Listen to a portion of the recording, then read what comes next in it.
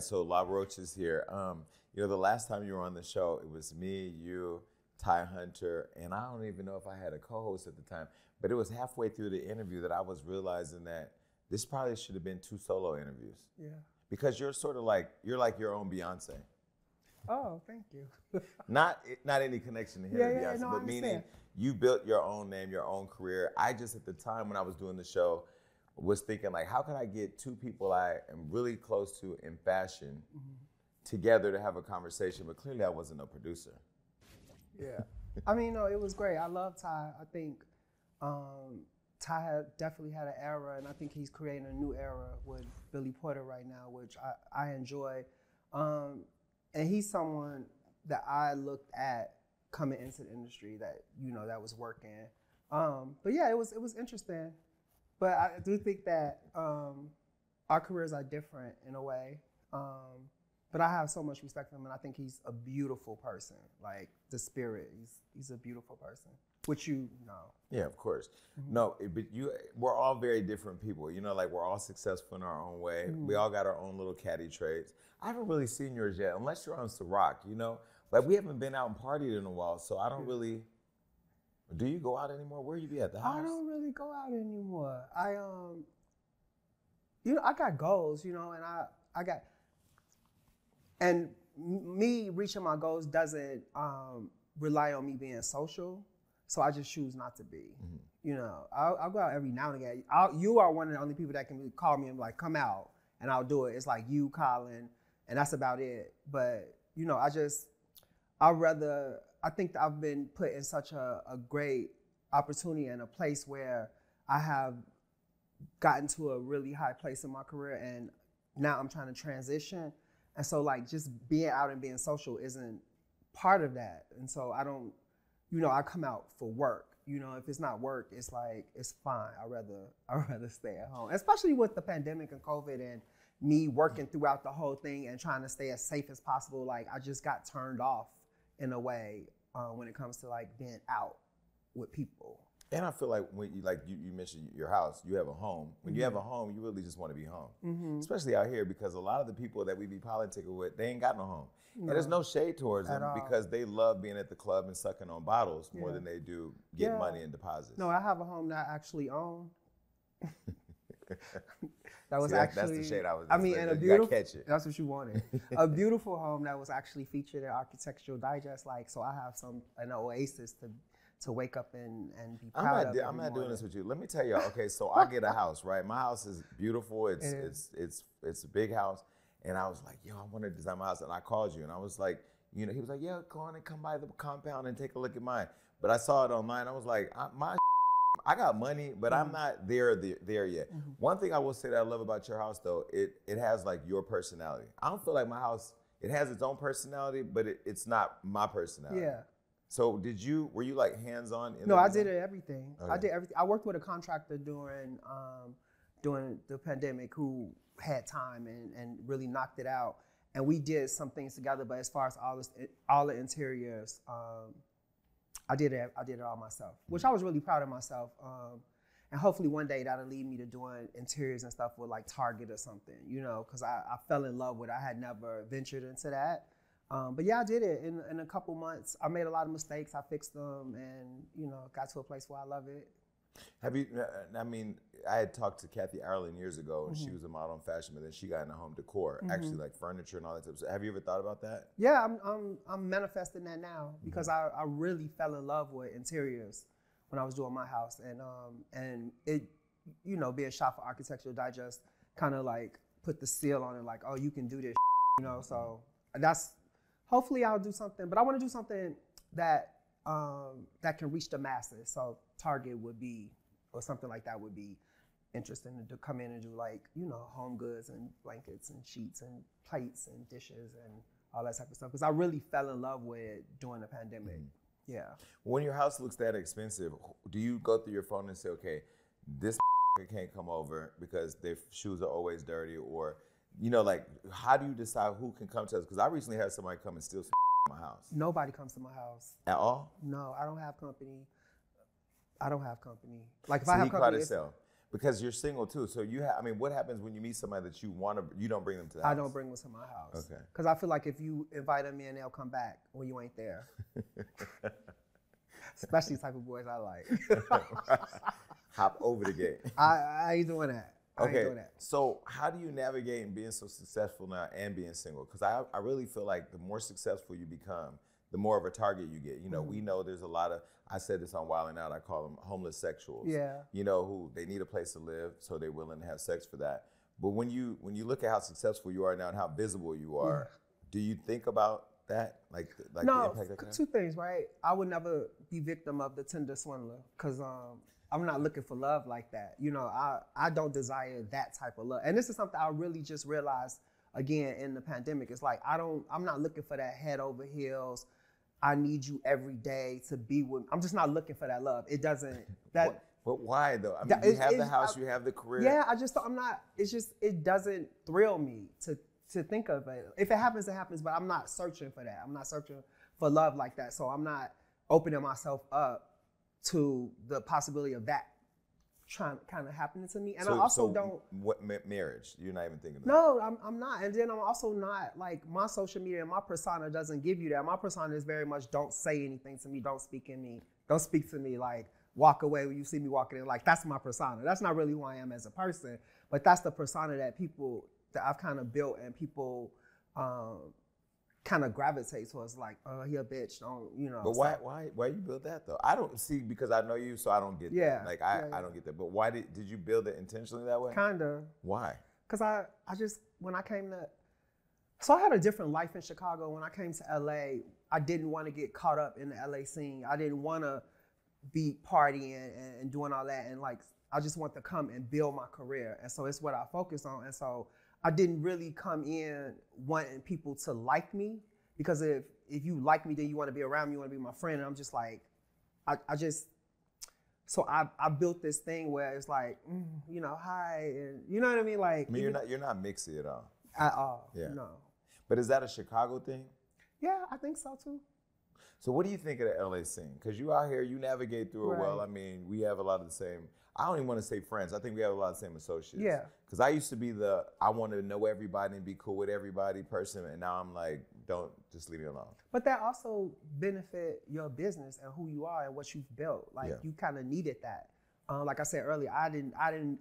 My career doesn't call me to be social because I've already made it to a place where I don't have to socialize people to be around people to get clients and all that. But I do think LA is mixy. I think LA. Um, it's a lot of things that I don't enjoy. Like I don't enjoy drugs. There's a lot of drugs. There's a lot of sex. There's a lot of these things, and I'm like, I really just don't enjoy any of that. So it's like, again, I don't like I don't care to be around it. So my birthday this year, I um, I, I decided I'm gonna get styled for my birthday. I lost this weight. Let me go ahead and give me some clothes. So I called Law. Yeah, funny. You're you're never rude to me at all, but it was like, oh, that's cute that you want me. Um, and you put me with somebody else, which I But I did because I had COVID. Okay. Right. Uh, I had COVID. I which just I thought that was your nice way of saying like, I'm gonna look out for you. Mm-mm. no, I don't lie. I really, I really had COVID. I would have came to your Wait, party. did you have COVID? I don't think you said. Oh, that's why. That's why you Yeah, didn't come. that's why. I But I did look great, yeah. and he did a great job. Yeah. But I wanted to have, you know, because it's all about. experience. You said that. And I thought that was beautiful. You like, I want the full experience. And I think that's why I'm so successful because I do deliver a, a very high end, high quality experience to my clients. So I wanted, I felt bad because I wanted you to experience it. Yeah. Um, but yeah, I had COVID. I still look good, so it was good. Yeah, you did. And I made sure he took care of you. Okay, so you don't go. What's your title? You're not stylist, so I mean, you can't. Image architect. image architect. Is which- that a new thing that you created? I created and I own the trademark. I'm the only Do you really own the world. trademark? I really own the trademark. image architect. Image architect, and I will send a cease and desist letter to anybody who uses it. Wait, so why did you coin that phrase? Um, you know, Because the other girls, you just kind of look at them like, I don't look at them like anything. because you're flying too high and can't see him. I mean, I mean, wait, so why image architect? Why why did you? um, what? So at first, it was a way for me to differentiate myself from, because it's a lot of stylists here. You know, it's a lot of multi hyphenate people here. You know, Um, and so then, but when I really started thinking about the work that I was doing, it was to me very similar to what an architect does. You know, um, I do a lot of research and and pull in different people that's similar to like contractors. For them, it's like hair and makeup and the clothes and you know are like the windows and doors. And so I just kind of like was saying that to myself, and I was very early in my career, and I'm like, okay, so I feel like an architect, but not for structures, for for people's business. I mean, for a person. So I so I did it, and I you know I started calling myself that, and then I trademarked it. Mm-hmm. So when you're when you're involved with your clients, it's the full experience. What you talk about, it's mm-hmm. not just the clothes. No, I, I need to be in control of the whole look. If I if I can be, I want to be in control of the whole look because I think that the the whole is greater than the sum of the parts, right? So everything has to work together for it to be the best look and for it to you know do what I needed to do. So now here's the deal. What what is ever and this is gonna sound crazy because mm-hmm. I don't know Celine Dion mm-hmm. like that, not unless mm-hmm. you're client or whatever. But what people are crazy about her. She's an icon. You know, you know some of her songs. Everybody in the world knows some of her songs. Yeah. You know what I mean? Like no matter how how how old you are, because your grandma, your mother, you know, and culturally she means a lot to people. So it's like when you have someone that's some like mostly the entire world knows at least one of her songs. Mm-hmm. That's iconic mm-hmm. in itself. Facebook, where she looks very youthful too. I mean, is it part mm-hmm. of her style or part of the work that you guys do together to mm-hmm. keep her looking? Well, because um, I've seen some timeless looks too. I started working with Celine when her husband died, so I I came in um, because because she's been around for so long that people think she's so much older than what she is. Right and she's actually 52, I think now. She's younger than Jennifer Lopez, you know, and Halle Berry. Wow. But since she's been singing for the last 35 years, like people always thought that she was like in her 70s almost, but she started really young. So I was hired to come in and change the perception of who people thought she was, and um, we you did that with fashion. Yeah. yeah. and so um, you know, changed the perception, and so she started to be known as like a fashion icon and you know, all the designers wanted to dress her and take her to the Met. She had never been to the Met. She hadn't been to a fashion show in 20 years. And so I kind of opened that world back up for her. And then I left for a couple years and I just came back to do the the new the new Vegas show. Mm. So I was just rehired to come back and do that. But she's um, actually out. She's ill right now. Um, so we'll see when she's better. Then I'll do the Vegas show and we'll do whatever it is that we do. So when you are with somebody and you build them up and then you leave, what happens? I mean, do you teach them how to shop so they can go do it for themselves, or teach them how to put their looks together, yeah. or because some people like for me, I don't know how to style. I go if I can wear it and it fits. Like this right here don't really fit. I mean, it fits when I'm standing up, yeah. whatever, and it looks bad on camera, but whatever. Um, I'm not a stylish person. Like I just, yeah. if it matches and it fits, I'll buy it. When you put somebody together and then you leave, don't they go through some level of a withdrawal or? Um. Well, I, well, when I left, she start. She was working. She continued working on with somebody that was on my team. Okay. That had worked with me with her. Got it. So it was like it was already. So you're still of, involved. Yeah. No, I wasn't involved anymore. But it was it was kind of like a blueprint, and that's the architect speak, right? It was a blueprint that I was that we knew worked, and it was just like you plugging in things at that point. Mm-hmm.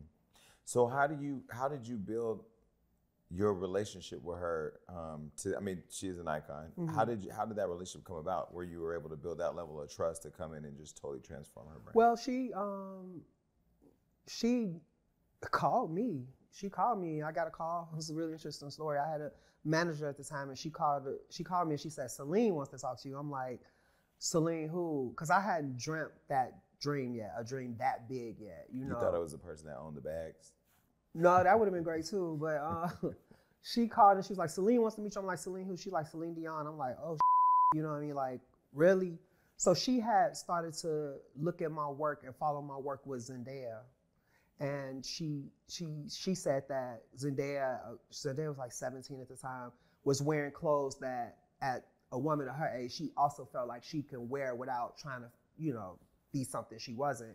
And so, yeah, we had a good conversation. She um, offered me to come to Paris for two months and to do her um, everyday clothes. And I ended up coming to Paris doing the everyday clothes and they're also doing tour wardrobe. So Celine Dion was my first um, tour that I ever did. You talk about Zendaya, like I recently watched you guys. I don't know if it was a was it a press run for Spider Man or you guys were overseas? What was that? Um, yeah, it was overseas. It was Spider Man. And shows were you at The shows last too? one. No, no, no. No. Mm-mm. Okay. She every day was just a different look, like a Yeah. crazy, and, and you were posting like archive pieces, and then like from back whenever they Yeah. originally been worn, and then and then the pieces that she was wearing. Yeah. How did? What's your vision for that? Like, how how did that come about? Is that a collaborative process, or did you decide that's what I'm gonna do? Um, well, I've been working with Zendaya since she was 13, turning 14. So um, we've grown in this industry together. And when I came on to work with her, it, I took on the responsibility of teaching her fashion um, and teaching her um, about vintage and archival things and things that came before and just sparking her interest um, in it. And so it's always just been a part of what we did, you know, and now it's it's a trend. You see it a lot but we've been doing it since she was 14 years old, you know, and um, yeah, and it just feels good, especially when we wear iconic pieces that have been on the runway or like an uh, um, an amazing black woman made it or a black designer or something like that. So it's just been it's been things that we've been doing over the years to kind of um, just satisfy and entertain ourselves, you Mhm. know.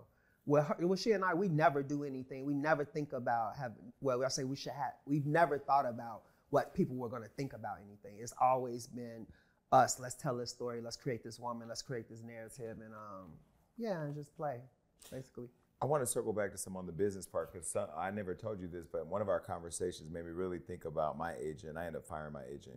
Um, but you were talking about the business, Mhm. and and I think a lot of people will see what you do online as far as the work, but not understand like your business mentality behind the scenes. Yeah. And you were talking about your value one day, and you were telling me how you made it clear to your people what your value was. Yeah. And it takes a certain level of courage and confidence in your career where you can say like, "This is what I want. This is what I deserve. This is what you will pay me," or you can go find somebody else. Where did that come from? Uh, I think that just came from me being from streets and from Chicago and um, knowing very early that you have to know your worth. Um, I'll tell a story. I when I first started trying to be a stylist in, um, in Chicago, there was a girl, and she was trying to be a makeup artist, and so we were like the two people that were like, oh, you know, call him, call her, call him, call her. And every time I got a call and booked a job, the next time I wanted more money. You know what I mean? I would, the rate would go up. You know, it's- I felt like I had was more experienced every single time. And for her, her rate stayed the same. And um, she started out real low, and then I stopped seeing her. So I called him like, "Hey, I haven't saw you on any shoots, you know, the test shoots or the shoots or whatever." You know, we were doing like Chicago rappers and all type of together. And she was like, "I moved back home," and I'm like, "Why?" She was like, "I became the seventy-five dollar girl," and what she was saying is that she had done so many things for so little money and for favors and all this that when people call her and tried to book her, she would give them a rate and they was like, but you did it for this person for $75. So she couldn't break it. So that never left my head. I'm like, I'm never gonna be the $75 girl. I'm never gonna be, you know what I mean? So I came in to LA like, no, I'm gonna be the best. You know, I know I have the talent. I wanna be the highest paid. I wanna make more money. I wanna do this. I wanna live this certain type of lifestyle. And uh, my whole focus and drive has been to get me there, you know. Mm-hmm. And and if, if people don't understand that, then they can't work with me or for me, you know, mm-hmm. because I, I want I want the best. I want the most, you know, and I think I deserve that. But what was your process to getting there though? Because I know, or was it that was the mentality coming in the door? Absolutely. Okay, because see, mine I think has been an evolving thing. I said this year I'm adding a zero on it. So if it ain't this, I'm I'm not interested. Yeah. And there was a thought where I was like, wow, well, what if they don't want to pay it? But when you know who you are, you know what impact and influence you have and what you can do. Yeah. Yesterday's price is not today's price. Never. And if they don't want to pay you, then that's not for you. Right. If they really want you, you're gonna get what you want. And if you don't, that wasn't for you. Mhm. For for whatever the reason the universe sees fit, it wasn't for you. Mhm. And I and then when you live in that, and you know, you I, if I if I tell somebody and they be like, "Oh, that's too expensive," I'm like, "Okay, thank you." But what seems to happen is they'll come back around, and then when they come back around, they gotta pay more. Right. Exactly. All right, so let's go back to the client. So Mhm. um, I actually met my friend Tiffany Haddish through you at a party uh, during um, what was it, Fashion Week a few years ago. Maybe, yeah. So we were at the Jeremy Scott party. Jeremy Scott party. And you Yep, were there yeah, with yep, yep, you were true. there with her. I was the there- after party. That's the after true. party. Yeah. You were there with her. I was there with Cardi, and we've hung out several times since then. And Mm-hmm. then now y'all are not working together anymore. What happened? Um, I, I start off by saying this. I love Tiffany Haddish, right? You know that she's one of the most beautiful people. Yeah. Um, most beautiful pe- souls ever. Like there's an innocence about her that you just want to protect her, right? And when you saw us, Tiffany was, you know, breaking a little bit. So I took her to Fashion Week. You know, I've I've taken Tiffany, you know, play to Abu Dhabi. Like she's been my plus one um, plenty of times because I because when you're around her, you want to protect her, you want to believe in her, and so I, you know, I'm like, okay, well, let's let me get you into this fashion, and so yeah, like that first fashion week, she went out like she, I took her to the shows, like you know, with me and to parties and introduced her to Michael Kors and Jeremy Scott and all these people. Um, I'm just gonna be real, right? I, I, I ruined a lot of relationships because of Tiffany Haddish because, you know, I, I tried to teach her how people should treat her. You know what I mean? And I tried to give her examples of the way other girls I work with are being treated. Um, and she hired some new people, and and they didn't like they didn't like the way I did business and the way I did things for her. And um, what happens is like these people, basically these white people are always the gatekeepers, right? And so it's it comes it starts to be in those little things like, oh, he's difficult to work with, or this person says oh, you don't want to work with him because of that. And and for me, I'm from Chicago, I'm from the hood. It's like if I do something wrong, we work that out, but we don't let other people come in and and and you know make this situation bigger. And then it's like then it becomes he's not available or he's too expensive and all this they do. And it got to a situation where she hired somebody and I wasn't getting along with her. I didn't think she respected me. And um and, and so I walked away and I told Tiffany, I wish you well and I love how does that? work How do we get the gang back together though? Because I know she loves you, Mm-hmm. and I know you love her on a deeper level. I mean, you're you know you you're you seem to be very close with your clients, but I know I've seen you two together. And I know. I, she was outside of Zendaya. She was the closest client I ever had. Like Yeah. she would come over to my house and, and lay on the couch and she'll call crying and oh, I'll call when I'm upset and like I don't do that. Like I don't do that with anybody other than her. So I felt like we were more a family. And it's like, and for me, I'm from Chicago again. It's like if if I said I don't with them, you don't with them. If you my friend, so that's the type of mentality I had, and that's not that's not what she showed me. But that's fine. Like if she don't want to run her business that way, then I get it. But again, I ruined relationships for trying to protect and trying to elevate Tiffany. like how? Just you know, like calling her like, listen, you should be getting this. Like I've done a deal like this before. You should be trying to get this type of money. And she, you know, Tiffany is very much well. Law said that this, you know, said she don't know how to filter this. She don't know how to be slick about it. She's gonna say what it is. You know what I mean? yeah. And so that get, this is a small industry, you know, and that gets back. And a lot of people, I've again ruined a lot of relationships from trying to protect her, Mm-hmm. you know, or telling people like, no, she's not gonna do that because you know Tiffany, Tiffany has Tiffany is Tiffany. She has a certain aesthetic, and it's not Hollywood, right? It's not Hollywood. So, and a lot of people don't understand it. And I told them like, these people don't know how to walk into a meeting and pitch you because they don't understand you, mm-hmm. and they also don't give a about you. You know what I mean? And so I did a lot of that, and and it kind of came back into bite me in my ass. And I'm like, I can't do it When you say when you say they don't get her, it's because she's from the hood. She's Yeah. from the streets. yeah, yeah, I mean, and she is like one of those people. She wants everybody to win, and sometimes it may be at her loss. Yeah. And and I do think there's like a dogmatic type of energy you have to have in the game. yeah. And I think she's getting it, but I think that's why she has people like me and you around. You know, so like how how we get the gang back together. I mean, have you guys talked at all? No, we haven't. She called me. She called me and left me a voice message when uh, when my nephew died. Um, but I haven't spoken to her. I haven't spoken to her since. It just it just didn't, you know. And I've seen she's commented on my, you know, posts and stuff like that. But it's just like I was so hurt. Like I was really I was hurt by that because I'm like this this my sister, this my friend, you know. And even if I am doing something you know that that's not good for you right it's like let's have that conversation and and we we had the conversation and you know basically i walked away from it it was like if you gotta if she had to make a choice she was choosing them so you know that just that didn't sit well with me So did it? Have you ever had a situation like this with another client? And if so, did it not hurt you as much because you weren't as close? Yeah, it happens all the time. You know, it happens all the time when, again, the gatekeepers. It's like um, I'm very opinionated, right? And um, I'm also you can't talk to me any kind of way, and you can't treat me any kind of way. You know, you I'm coming in and I'm I'm commanded a certain amount of respect. You if you if you're not giving me that, we're gonna have a problem. Like I, I'm not really afraid of this this industry because I'm black. I'm from the hood. I can always go back. Like I'll always make money. I'll mm-hmm. always get money. I'll always be successful. And if I have to get into a situation where I have to rework who I am and what I'm doing, then I'm not afraid of that, right? Mm-hmm. So I'm not afraid to st- go toe to toe with a publicist or AJ or a manager because I don't feel like I need you because you didn't, you've never done me anyway. Mm-hmm. I'm self-made. You know what I mean? Like I built my career.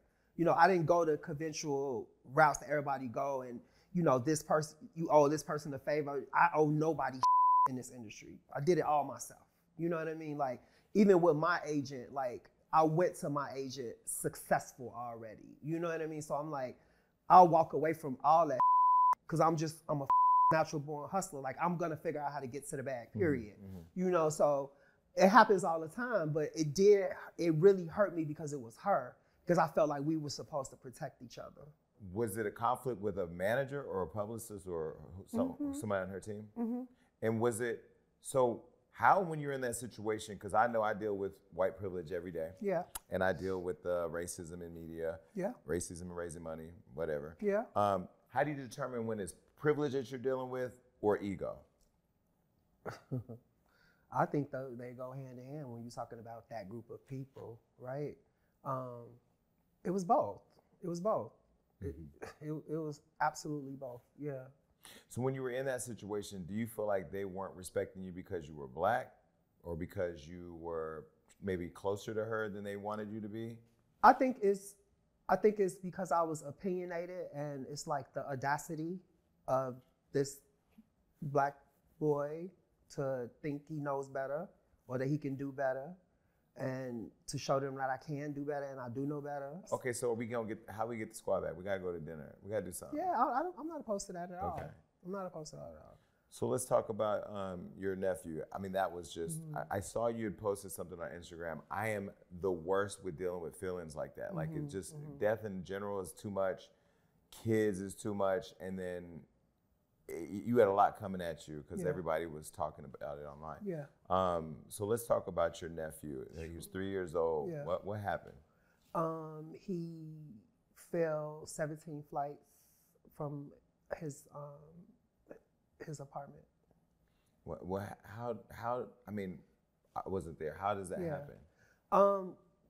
Well, we don't really. My my nephew was very uh, adventurous and like very much a little boy, and you know, climb on things, jump jump off things, and um, had no fear of anything. Um, we we still don't understand why he was playing in the window, but what we do understand is that the window was not supposed to open as far as it did. Like he was never supposed to be able to fit. So it's it's like that window, like your window over there, you open and it opens this way. So he was never supposed to be able to fit in there, um, even being a, a, a, baby at three. And um, and yeah, and that, and he um he fell, he fell out the window, and um we shared the same birthday. He was birth, born on my birthday, and he's um, the only. He was only the only boy. Um, both of my my sister has a daughter, and my other brother has two daughters, and he was the only boy, and um, and really like the protector of his five year old sister, and he was just he was you know special, and um, I went through a lot. Um, I went through a lot of depression and um, grief, and I'm slowly. I wouldn't say that I'm all the way out of it, um, but I'm slowly coming back to myself. But it, yeah, it was it was tough. You know, I think it's tough. It was tougher because it was a baby, and so I went through this thing of like. I didn't get a chance to love him enough, and you know, I don't, I didn't get a chance to really know him, and I'm so busy, I didn't spend enough time. So, and then I went through the stages of who the f- are you to be grieving when this is your your brother's son? So I just went through all these different stages of of grief and and um, yeah, and still and still are. So um, yeah, that was hard. Grief, but what, but you, what you just said sounded like there was some guilt too. Guilt, yeah. But I think that's one of the stages of grieving is guilt. Mm-hmm. Um, yeah, it was definitely some guilt because uh, because I my career has just just been the number one thing in my life, and when you you know it's different when it's death is death, right? But it's when it's a baby, it's like you think of all the things that could have been, what type of person he could have been, what career he could have, what his kids would have been like, and just you know, and I just feel like I didn't I didn't have enough time to just love him, mm-hmm. You know.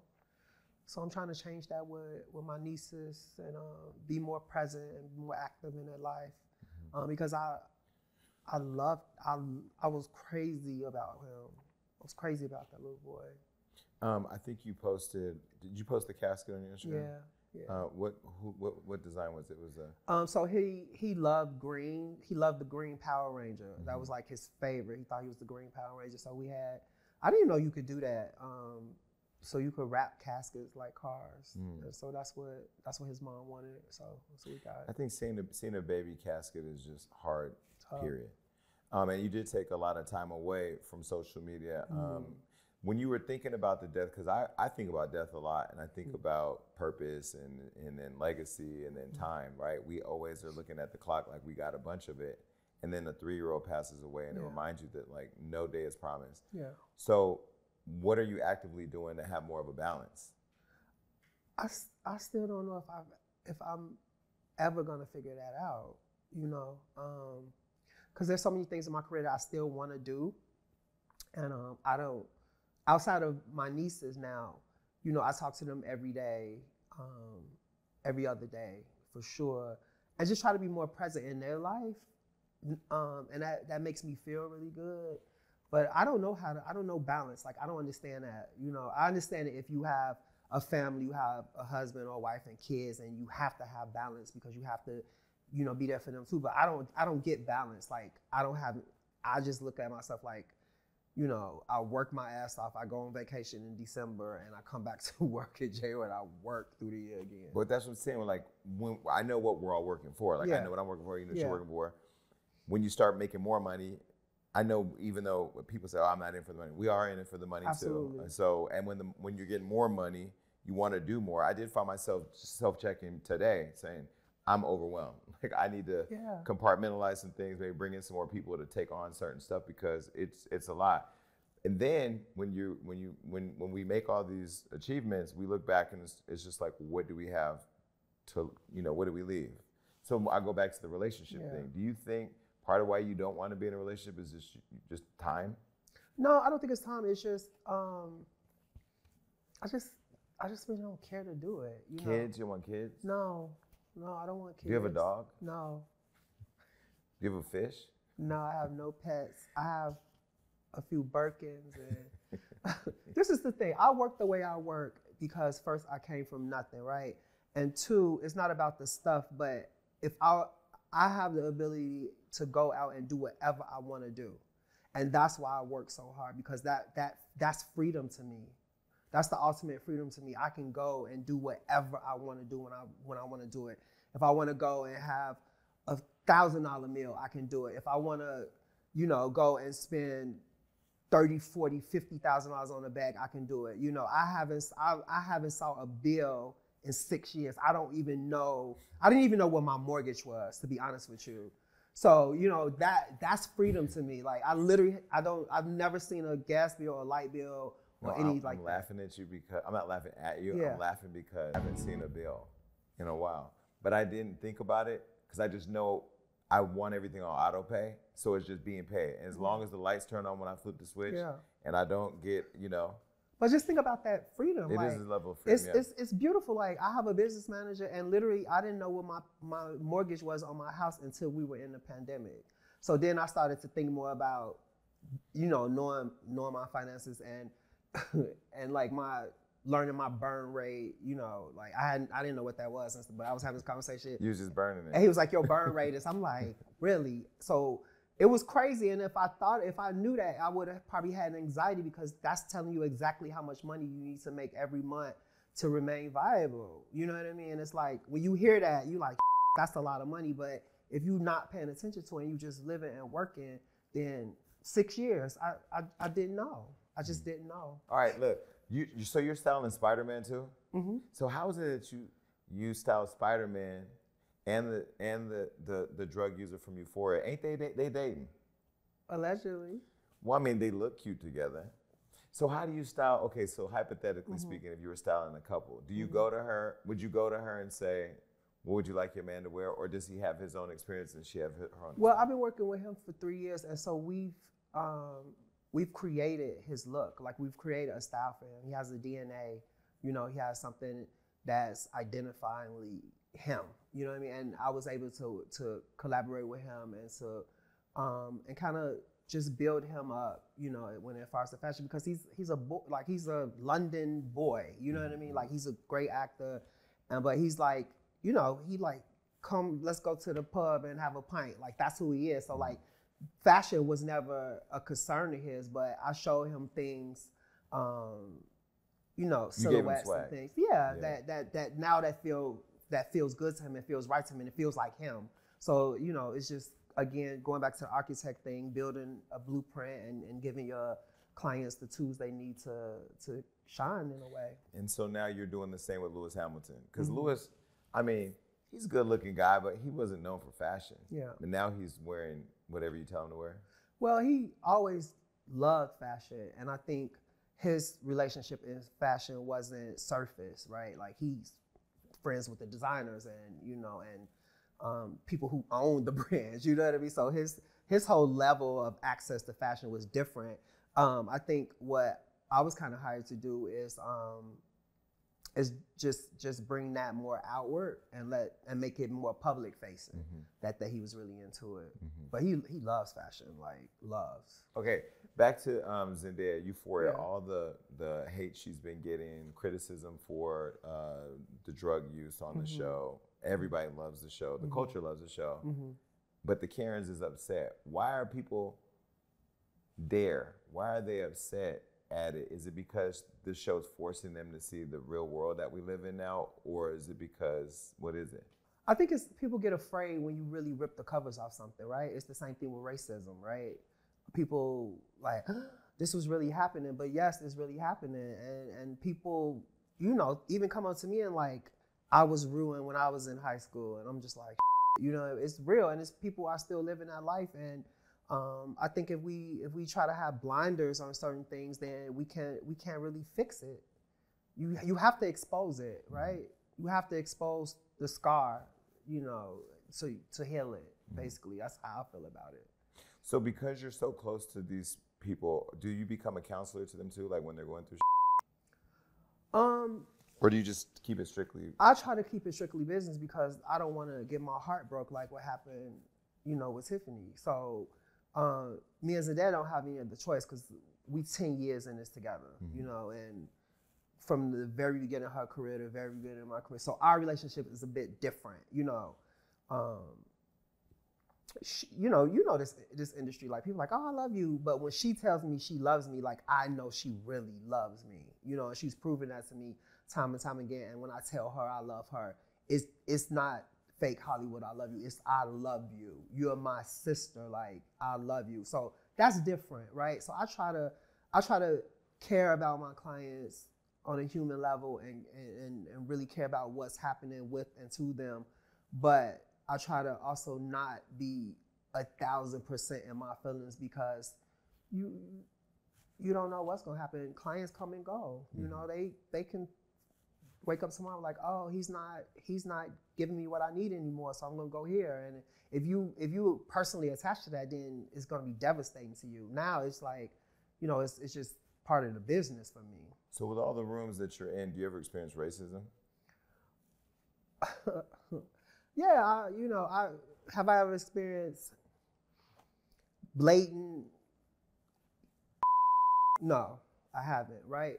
But I have experienced subtle things, right? I've experienced um, walking walking into a room and um, being the only black person there, and people automatically assuming that my white assistant is me, like walk to her to greet her as me, you know, and being shocked that she's not the person in power, or you know, people, you know, going at me, um, going at me, and and they want to, you know, um, go against what I'm saying, and it's like, but I'm right, and everybody else knows I'm right, so you're just doing it. So it's almost like the audacity of you to become this person, the audacity of you to, you know, become this successful or, or this powerful or this thing that a lot of them, and it's to me, what I've noticed, is it's mainly white women that has this thing like because I because my job has always been done by white women. You know what I mean?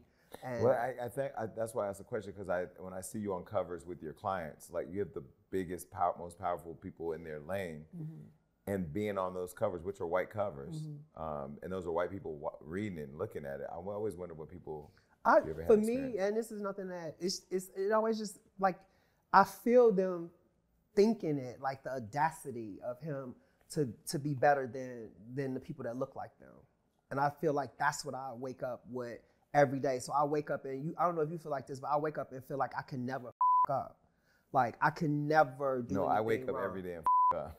but I do it. But see, like you, yeah. we own ourselves, though, right? Yeah. So, but you, it's like you have to. I think because you are connected to so many people, what you do and say also reflects Celine yeah. Dion, yeah, Zendaya, because that's what the headline is going to be. You know what I mean? If I do something, if I do something, it's going to be like Zendaya stylist did something up. Mm-hmm. So it's a lot of pressure. It's a lot of pressure. It's a lot of pressure, and it's like also you know, I've opened the doors for a lot of other black stylists to do things that we weren't doing before. And that, that weighs on me too. I'm like, I, I always want to be that. I always want to leave the door open and, and, my legacy be that I've helped other people get to, to a, a higher level, help them make more money. And, you know, um, so yeah, I, I have this, this pressure and this anxiety sometimes like I have to, I have to be the best, you know, I, I have to do it. I can't up. It has to be perfect. Legendary just blew up out of nowhere. Yes. Is that yours? Did you create that show? No. no, no, you're, you're, one of the hosts on there, though. I am one of the judges on there. Yeah. yeah. And so, how did that show come about? Because it's taken off in a way that I don't think we've ever seen that mm-hmm. on TV, right? It's doing really well. It's a, it's um, it's just about an underserved community, you know, that that really never had a big light um, shined on them before, and and so what we try to do it's people who are not in the scene. Like I'm not in the ballroom scene. I'm very familiar with it. Have done winter balls and know people in ballroom and all that, but not technically in the scene. But it's like the people that's not in the scene. It's like what like Meg was on it last um, the last two seasons, and it's like we just use our platform to like make it make people who follow us understand it and want to be want to know what it is and watch the show and hire and book those people. You know, for me, I have to do any, I do anything that I think is going to elevate other black people, and I think that's what the show has been able to do mm-hmm. for the ballroom um, scene. I used to be a fan of Leiomy's, not really as much anymore because she kind of attacked me online or whatever. I said something on a live stream one day. Again, I don't know the ballroom scene. I yeah. think everybody thinks because you're gay, gay that you, you're supposed yeah. to know the yeah. ballroom scene, or if you're a gay man, you're supposed to know the trans movement. Yeah, we all got our own. Shit and you know we all come from different places. But I said something online, like um, I was ta- into it with somebody from a house, mm-hmm.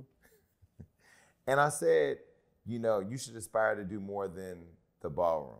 They lit my ass up. Mm-hmm.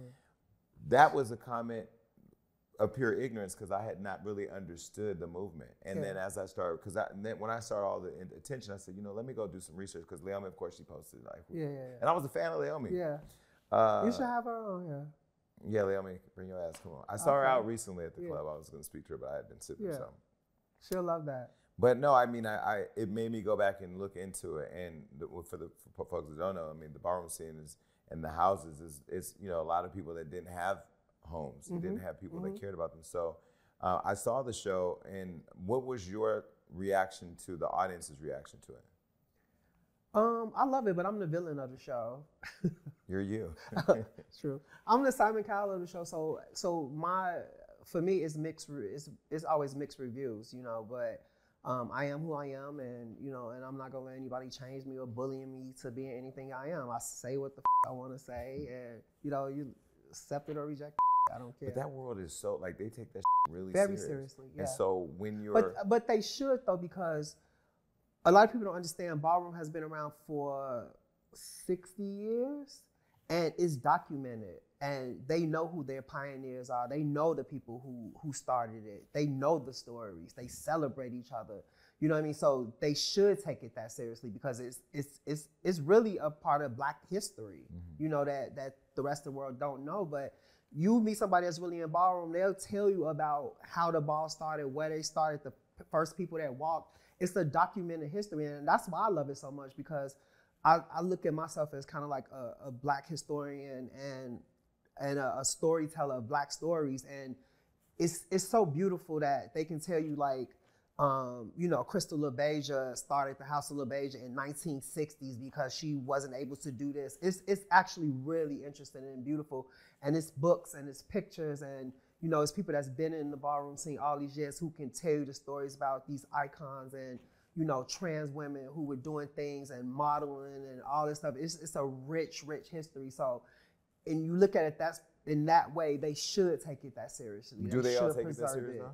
I think the people who are really, really in it and and doing it for the right reasons because of family and and and the com- camaraderie around it, yes, yes, they do take it that seriously, and they will fight you Mm. No, about their re- culture. Yeah. no. So, so I mean, I've gone back. I've seen Paris is Burning. I've Mhm. done you know some research, but when I look at um like when Tiffany was a guest host on there, and Mhm. she got a lot of heat for chopping somebody or whatever she said, but but I got what she was saying. What she was talking about the history of yeah, it, right? Yeah, I she was there. Yeah, yeah. A lot of people didn't know that Tiffany used to go to a lot of balls, and and she understands the culture. And you know, you know, our inter- the interaction we had and her uh, and Meg too. Your is that spicy. Yeah, yeah, it is. But yeah, it's, you know, she did get. But everybody who goes on there, you know, it's like everything else on social media. Like some people gonna love you, some people gonna hate you. They're gonna talk, they gonna start groups and all that. But it's you know, you just keep keep your head up, keep walking. So when do you guys start filming that again? We're filming now. Mm. Is Meg back? Um, I love Meg. All right. So what's next? Like coffee table book, furniture. Um, I am talking about a book, a book deal. Um, again, I am really trying to transition my career into other things. Like you what? know, designing and being the creative director of a house, interiors, big collaborations with big box brands. Trying to do all that. You know, I'm trying to really take what I built and and and monetize it and capitalize on it as much as possible. and and spend less time traveling with people? I mean, because it's a lot. It's taxing. You know, maybe Yeah. pull up fashion weeks, be around those moments, Yeah. but like the hustle and bustle. you know it's like when i'm really when i'm really working like pre, even i i went back to work in the pandemic in april so it was like february march at the end of april i went back to work i was on planes when people when it was like two people were had like i never stopped working Yeah. i never stopped working and so that's just become my lifestyle so it's what i'm used to like i'll i'll fly to new york i'll take a red eye to new york tonight work, get back on the flight, come back, work, and then go back. You know what I mean? Like I, I'm, a, I'm just built for that. Like Mhm. I'll, you know, just I like it. I like to work. I like to work. I to. mean, it doesn't feel like work because it's it's like it's your thing. yeah, it's, and it's it's you know, it's it's all I know how to do. I don't I don't have any other time. Okay, but then okay, I, I'm gonna end with this because Mhm. I'm committed now to seeing you get married. Because here's the deal: like once we get all this money, we want to don't we want to share it with somebody or No, no? don't you want to find somebody else with a lot of money to share that money with you?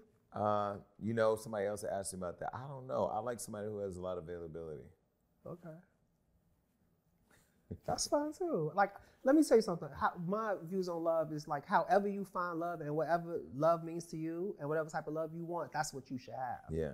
You know, period. Like, it's not for everybody else to judge. You know, I might go to Africa and meet somebody who don't have it and, and bring them back and, you know, who knows? Happened to me in Colombia, almost.